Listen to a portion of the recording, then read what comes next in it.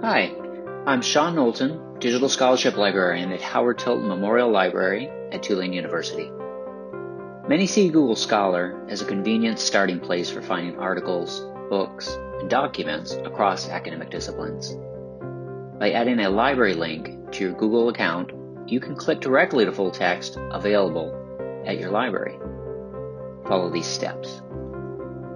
Begin at scholar.google.com. Next, select Settings from the menu icon at the top left.